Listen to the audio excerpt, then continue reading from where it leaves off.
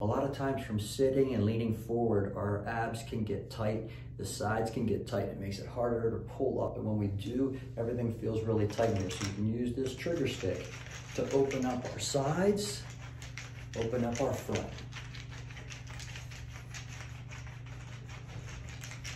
We're always so used to tighten these.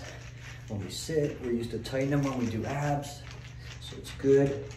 In addition to stretching them, give them a nice roll through here to get the toxins out and the healthy fluids in so you can heal better and feel better.